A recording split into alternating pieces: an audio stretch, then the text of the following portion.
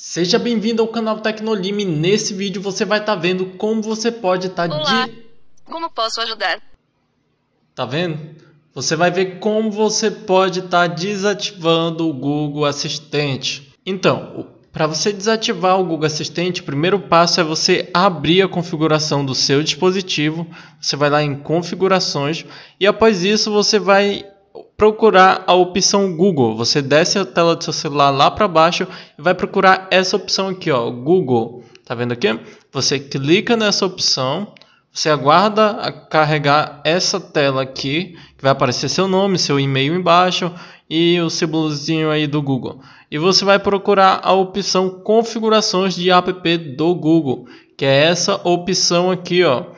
Após isso, você clica nessa opção e aí vir para essa outra tela aqui. Nessa tela você vai procurar pela opção pesquisa, assistente e voz, que é essa opção aqui. Você clica nela, logo em seguida vai vir para outra tela com outras opções e você vai procurar pela opção Google Assistente. É essa opção aqui, mas espera aí que ainda não acabou. Após você clicar nessa opção, ela vem para essa tela. Aqui você já está dentro do Google Assistente. Mas o que você vai fazer para estar tá desativando?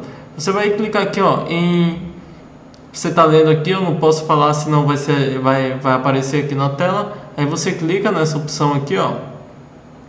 Clica nessa opção e aí você vem para essa tela aqui e você vai estar tá clicando aqui para estar tá desativando o Google. Você clica aqui em OK e sempre que você falar OK Google, ele não vai mais aparecer. Você pode aí dar sua palestra, dar sua aula ou fazer qualquer outra coisa sem precisar se preocupar com aquele aquela voz do Google que fica aparecendo do nada aí e te dando um susto. Então é dessa forma que você vai estar tá ativando o Google, vai estar tá desativando o Google Assistente. Se você gostou desse vídeo, eu peço que você deixe seu like.